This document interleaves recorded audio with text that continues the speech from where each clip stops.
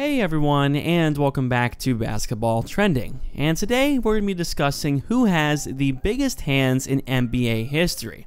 That's right, the biggest hands to ever hold a basketball in history, which is absolutely crazy considering a lot of the people in the NBA are significantly taller than the average person and have significantly larger measurements than the average person. But today, we're going to be talking about someone very specific, Boban Marjanovic.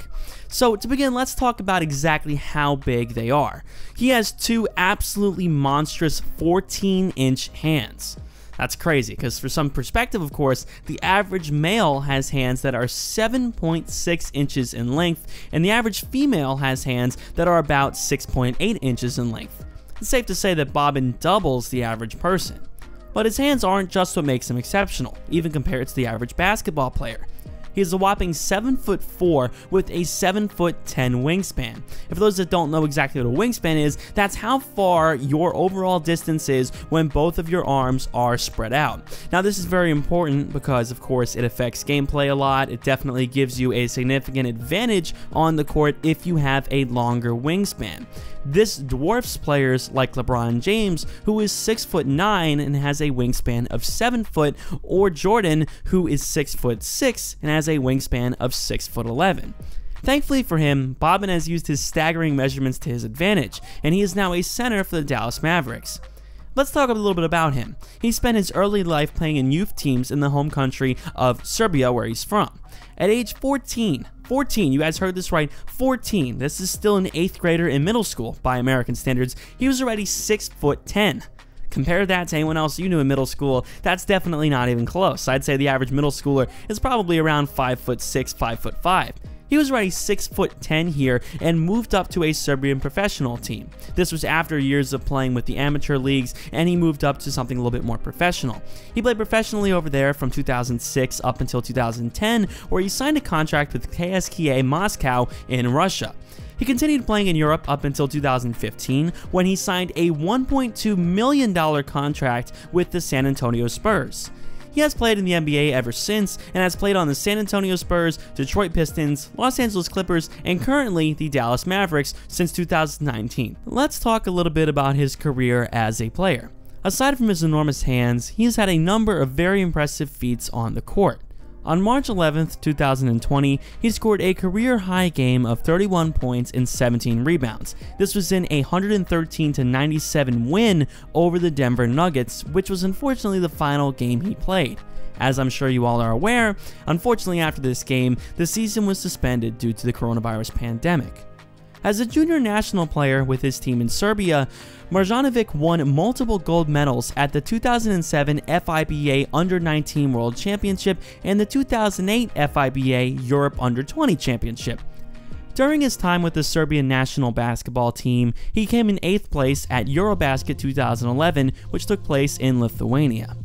After all of this success though, he did unfortunately face a type of setback. In August of 2015, the San Antonio Spurs prohibited him from playing for the Serbian national team at Eurobasket 2015 due to their fear of him getting injured. He had expressed signs of pain in his left foot, which led to having it examined. Thankfully, there were no bone fractures found, and he was able to get back on his feet and represented Serbia yet again at Eurobasket 2017. On this match, they won the silver medal but lost the final to Slovenia. Over a period of 9 games, he averaged 12.4 points, 4.8 rebounds, and 1.14 assists per game with a 56.2% shooting average from the field. At the 2019 FIBA Basketball World Cup, however, while Serbia was predicted to win with Marjanovic, they were beaten in a great upset in the quarterfinals by Argentina. Aside from his time on the court, he's actually tried out a few different things, including acting. He made a cameo appearance as Janis Krumins in We Will Be the World Champions, a Serbian sports drama film.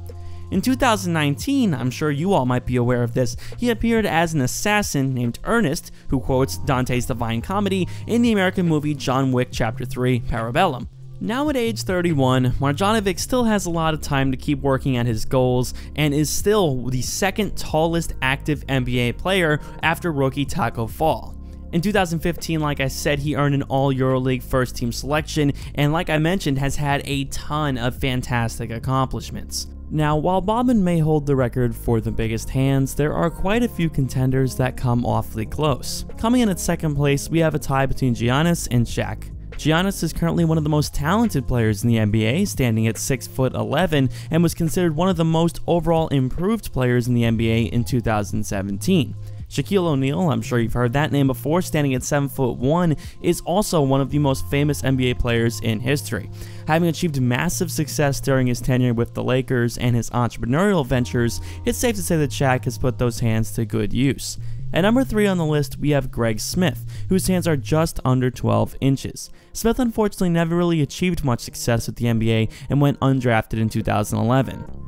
Coming at number 4, we have also some very similar measurements on Noah Vonleh, who has hands measuring 11.8 inches, just under Greg Smith. He hasn't also had much success with his professional career, but thankfully for him, he still has a lot of time to turn things around.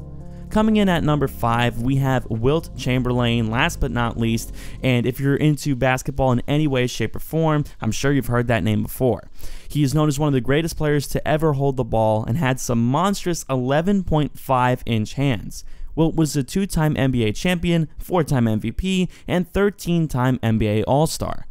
With that being said, thank you all so much for watching. Please let us know down below in the comments which one of these players surprised you the most, which one of them, of course, did you not expect to be on this list. If you guys did enjoy, please consider liking the video and subscribe for more basketball content coming very soon. Thank you so much for watching.